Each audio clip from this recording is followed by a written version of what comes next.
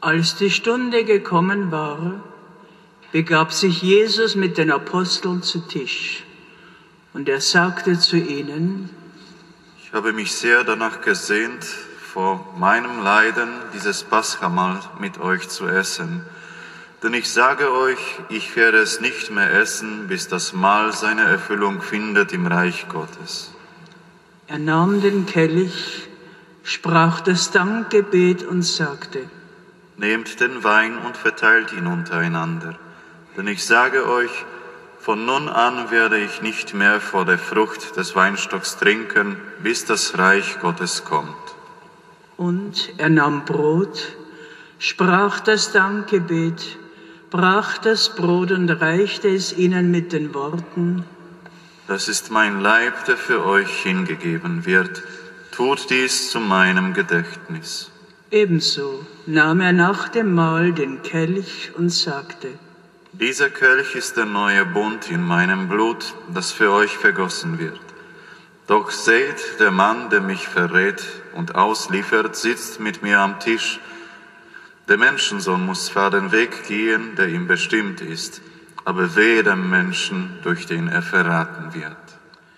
Da fragte einer den anderen, wer von ihnen das wohl sei, der so etwas tun werde. Es entstand unter ihnen ein Streit darüber, wer von ihnen wohl der Größte sei. Da sagte Jesus, Die Könige herrschen über ihre Völker und die Mächtigen lassen sich Wohltäter nennen. Bei euch aber soll es nicht so sein, sondern der Größte unter euch soll werden wie der Kleinste und der Führende soll werden wie der Dienende. Welche von beiden ist größer, wer bei Tisch sitzt oder wer bedient? Natürlich der, der bei Tisch sitzt. Ich aber bin, unter euch wie der, der bedient.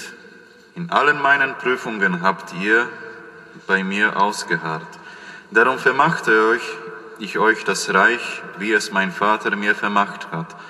Ihr sollt in meinem Reich mit mir an meinem Tisch essen und trinken, und ihr sollt auf Thronen sitzen und die zwölf Stämme Israels richten. Simon, Simon, der Satan hat verlangt, dass er euch wie Weizen sieben darf. Ich aber habe für dich gebetet, dass der Glaube nicht erlischt. Und wenn du dich wieder bekehrt hast, dann stärke deine Brüder. Darauf sagte Petrus zu ihm, Herr, ich bin bereit, mit dir sogar ins Gefängnis und in den Tod zu gehen. Jesus erwiderte, Ich sage dir, Petrus, ehe heute der Hahn kräht, wirst du dreimal leugnen, mich zu kennen. Wer sich niedersetzen kann, kann sich niedersetzen.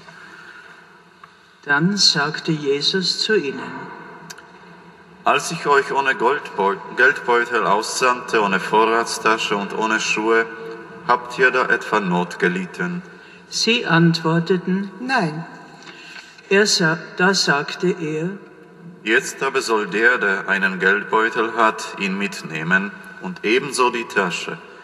Wer aber kein Geld hat, soll seinen Mantel verkaufen, sich dafür ein Schwert kaufen. Ich sage euch, an mir muss, mich, muss sich das Schriftwort erfüllen.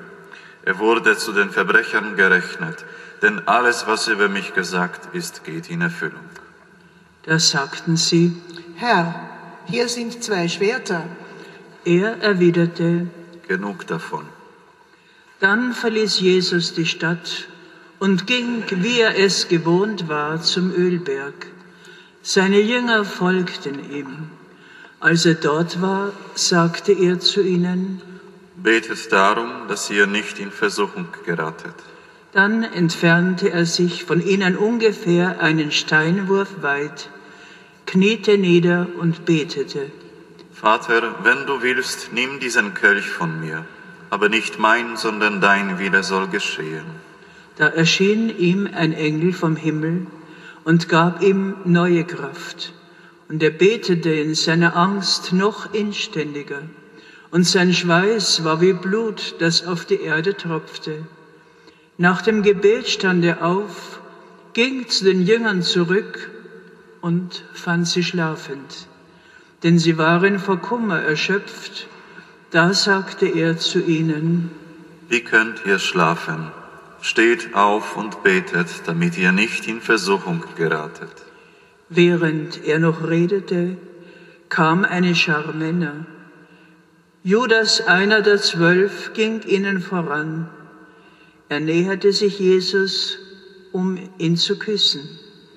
Jesus aber sagte zu ihm, Judas, mit einem Kuss verrätst du den Menschensohn. Als seine Begleiter merkten, was ihm drohte, fragten sie, Herr, sollen wir mit dem Schwert dreinschlagen? und einer von ihnen schlug auf den Diener des Hohenpriesters ein und hieb ihm das rechte Ohr ab. Jesus aber sagte, Hört auf damit. Und er berührte das Ohr und heilte den Mann. Zu den hohen Priestern aber, den Tem Hauptleuten der Tempelwache und den Ältesten, die vor ihm standen, sagte Jesus, Wie gegen einen Räuber seht, seid ihr mit Schwertern und Knüppeln ausgezogen. Tag für Tag war ich bei euch im Tempel, und ihr habt nicht gewagt, gegen mich vorzugehen, aber das ist eure Stunde. Jetzt hat die Finsternis die Macht. Darauf nahmen sie ihn fest, führten ihn ab und brachten ihn in das Haus des hohen Priesters. Petrus folgte von weitem. Mitten im Hof hatte man ein Feuer angezündet und Petrus setzte sich zu den Leuten, die dort beieinander saßen. Eine Magd sah ihn am Feuer sitzen, schaute ihn genau an und sagte, Der war auch mit ihm zusammen. Petrus aber leugnete es und sagte, Frau, ich kenne ihn nicht. kurz danach sah ihn ein anderer und bemerkte, Du gehörst auch zu ihnen. Petrus aber sagte, Nein, Mensch, ich nicht. etwa eine Stunde später behauptete wieder einer, Wahrhaftig, der war auch mit ihm zusammen. Er ist doch ein Galiläer. Petrus aber erwiderte, Mensch, ich weiß nicht, wovon du sprichst. im gleichen Augenblick, noch während er redete, krähte ein Hahn. Da wandte sich der Herr um und blickte Petrus an. Und Petrus erinnerte sich an das, was der Herr zu ihm gesagt hatte. Ehe heute der Hahn kräht, wirst du mich dreimal verleugnen. Und er ging hinaus und weinte bitterlich. Die Wächter trieben ihren Spott mit Jesus. Sie schlugen ihn, verhüllten ihm das Gesicht und fragten ihn, Du bist doch ein Prophet. Sag uns, wer hat dich geschlagen? und noch mit vielen anderen Lästerungen verhöhnten sie ihn. Als es Tag wurde, versammelten sich die Ältesten des Volkes, die hohen Priester und die Schriftgelehrten, also der Hohe Rat, und sie ließen Jesus vorführen. Sie sagten zu ihm, Wenn du der Messias bist, dann sag es uns. er antwortete ihnen, Auch wenn ich es euch sage, ihr glaubt mir ja doch nicht. Und wenn ich euch etwas frage, antwortet ihr nicht. Von nun an wird der Menschensohn zu Rechten des allmächtigen Gottes sitzen. da sagten alle, Du bist also der Sohn Gottes. er antwortete ihnen, Ihr sagt es, ich bin es. da riefen sie, Was brauchen wir noch Zeugenaussagen? Wir haben es selbst aus seinem eigenen Mund gehört. Daraufhin erhoben sich die ganze Versammlung und man führte Jesus zu Pilatus. Dort brachten sie ihre Anklage gegen ihn vor und sagten, Wir haben festgestellt, dass dieser Mensch unser Volk verführt, es davon abhält, dem Kaiser Steuern zu zahlen und behauptet, er sei der Messias und König. Pilatus fragte ihn, Bist du der König der Juden? er antwortete ihm. Du sagst es. Da sagte Pilatus zu den hohen Priestern und zum Volk, Ich finde nicht, dass dieser Mensch eines Verbrechens schuldig ist. sie aber blieben hartnäckig und sagten, Er wiegelt das Volk auf und verbreitet seine Lehre im ganzen jüdischen Land, von Galiläa bis hierher.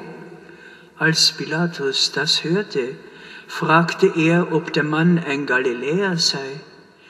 Und als er erfuhr, dass Jesus aus dem Gebiet des Herodes komme, ließ er ihn zu Herodes bringen, der in jenen Tagen ebenfalls in Jerusalem war. Herodes freute sich sehr, als er Jesus sah. Schon lange hatte er sich gewünscht, mit ihm zusammenzutreffen, denn er hatte von ihm gehört. Nun hoffte er, ein Wunder von ihm zu sehen. Er stellte ihm viele Fragen, doch Jesus gab ihm keine Antwort.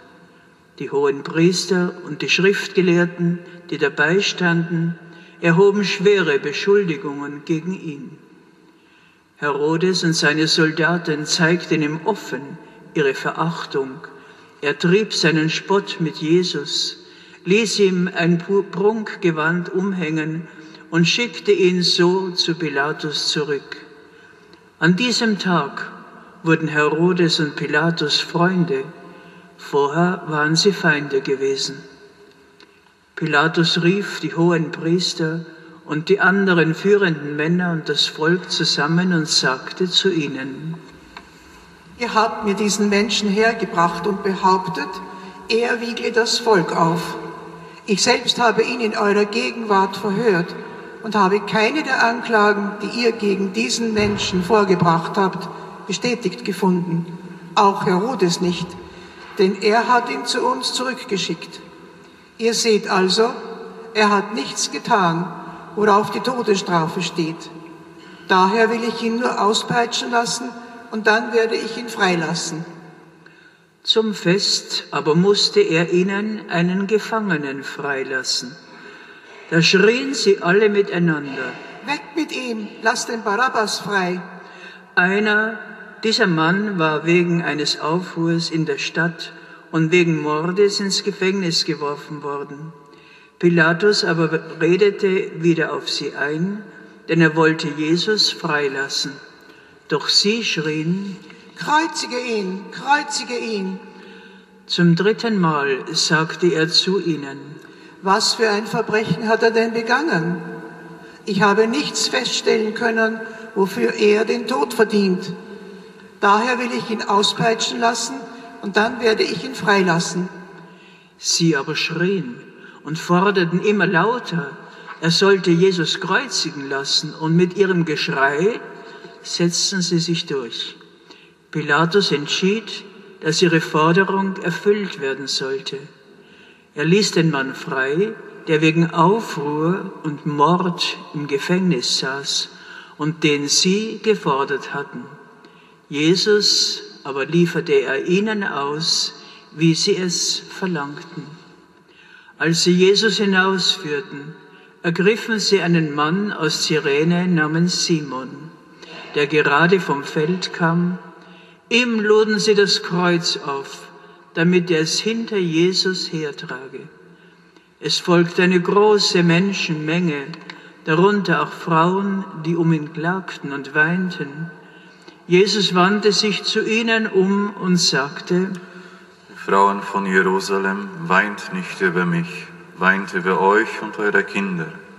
Denn es kommen Tage, da wird man sagen, wohl den Frauen, die unfruchtbar sind, die nicht geboren und nicht gestillt haben. Dann wird man zu den Bergen sagen, fallt auf uns und zu den Hügeln deckt uns zu.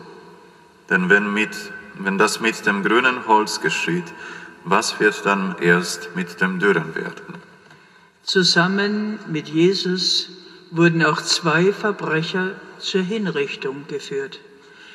Sie kamen zur Schädelhöhe, dort kreuzigten sie ihn und die Verbrecher, den einen rechts von ihm, den anderen links. Jesus aber betete, Vater, vergib ihnen, denn sie wissen nicht, was sie tun. Dann warfen sie das Los und verteilten seine Kleider unter sich. Die Leute standen dabei und schauten zu. Auch die führenden Männer des Volkes verlachten ihn und sagten, Anderen hat er geholfen, nun soll er sich selbst helfen, wenn er der erwählte Messias Gottes ist. Auch die Soldaten verspotteten ihn. Sie traten vor ihn hin reichten ihm Essig und sagten, Wenn du der König der Juden bist, dann hilf dir selbst.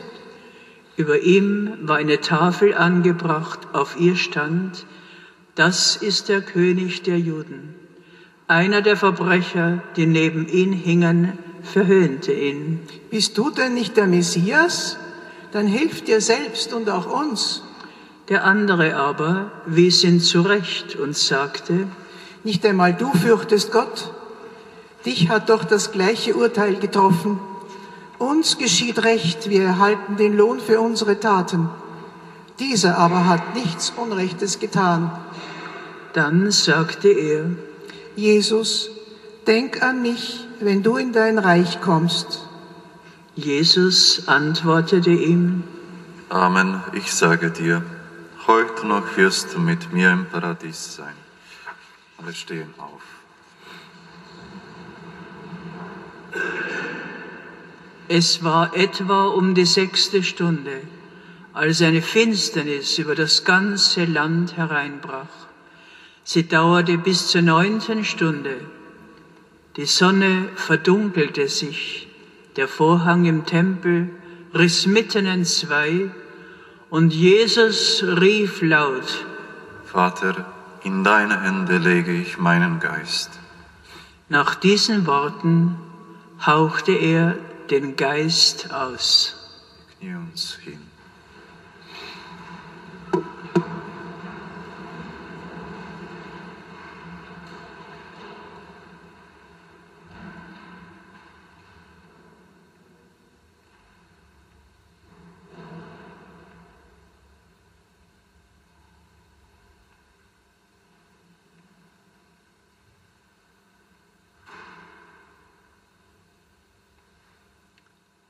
Als der Hauptmann sah, was geschehen war, pries er Gott und sagte, Das war wirklich ein gerechter Mensch.